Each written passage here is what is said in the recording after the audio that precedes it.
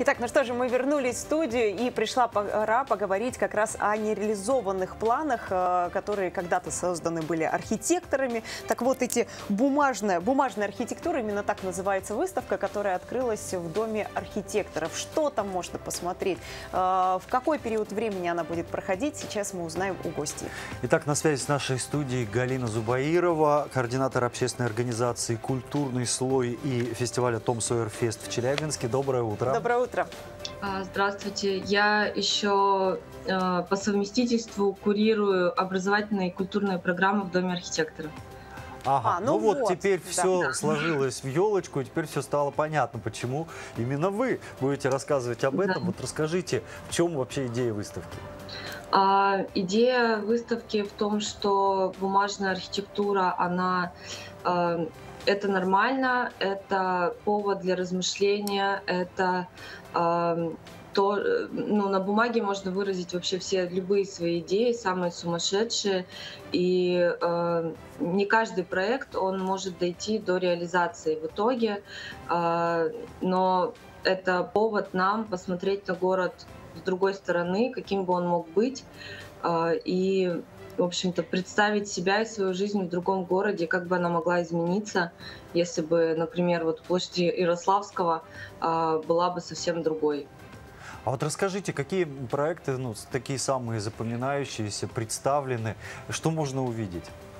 А, наверное, самый такой впечатляющий, ну вот меня, по крайней мере, э, сильно впечатлил, это советский период, когда архитектура была совершенно какая-то как из сказок, из каких-то книжек. А, такое у нас появилось наблюдение, вот дизайнеры, которые разрабатывали э, ну, эту выставку, поделились со мной, что раньше как будто бы вот в советский период строили дома не до конца, как будто бы на 70%.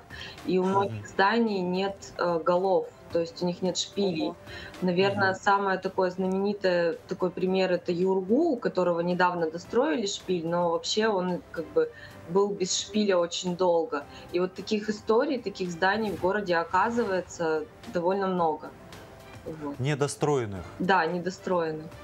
А, мы не а вот есть еще какие-то были проекты, э, такие очень, я видел старые фотографии, э, на берегу реки Мяс, какие-то такие прямо круглые здания, такие какие-то невероятные планировали построить. Да, да, там а, ну, музей краеведческий был, а, вот, например, площадь Ярославского, она вообще была в одном из проектов задумана как целый ансамбль, такой помпезный, такой мощный, как какой-то питерский, прямо совсем не челябинский, вот, но, к сожалению, не получилось это реализовать. Но у вас еще был мастер-класс э, в день открытия этой выставки, и вы предложили всем желающим пофантазировать и свои проекты предложить. А, было ли что-нибудь такое, что зацепило, что заинтересовало? Да, работ э, мы удивились, но работ было действительно много, и э, были классные э, проекты. Э, мы это все обязательно выставим, то есть у нас есть там специально планшеты пустые, которые мы оставили пустыми. Э, мы обязательно вывесим эти работы, которые были созданы на мастер-классе, и также mm-hmm. мы призываем всех архитекторов или просто желающих э, присылать нам свои работы. Мы тоже их будем как-то вывешивать э, в течение как бы этой выставки.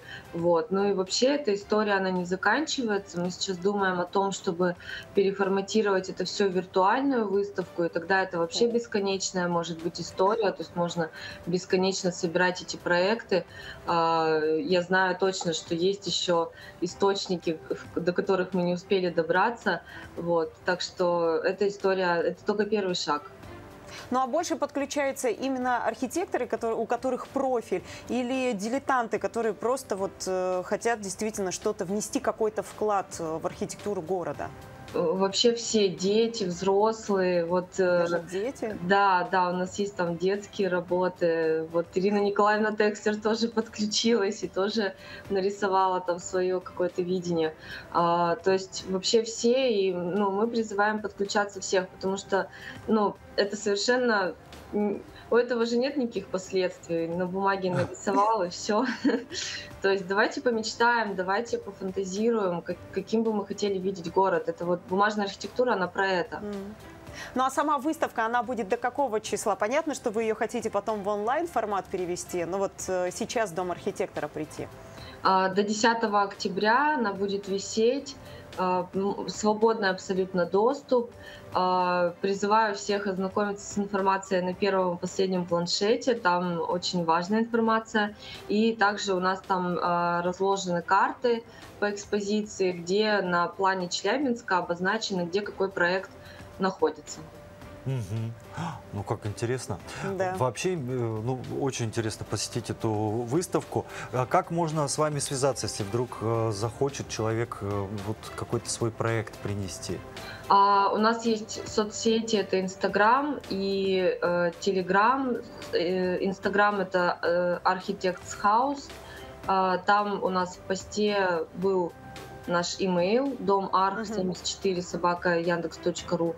И также у нас есть Телеграм, то есть можно в любую из этих соцсетей писать. Ну, то что ж, есть все спасибо, да. услышаны будут, да, и все проекты увидены. Спасибо, отлично. Спасибо большое за этот рассказ и за интересную выставку, которую вы э, открыли в пр- предыдущую пятницу. На связи с нами была Галина Зубаирова, координатор общественной организации «Культурный слой», фестиваля «Том Сойер Фест» Челябинский и куратор. Да, образовательных событий вот э, в доме как раз архитектора. Э, итак, друзья, мне кажется, прекрасная возможность есть сходить, посмотреть, какие бы были у нас дома, да, но их не случилось. Там очень много интересных вещей. Ну а прямо сейчас передадим слово нашему таксисту. У него есть новый вопрос, который он задает своим пассажирам.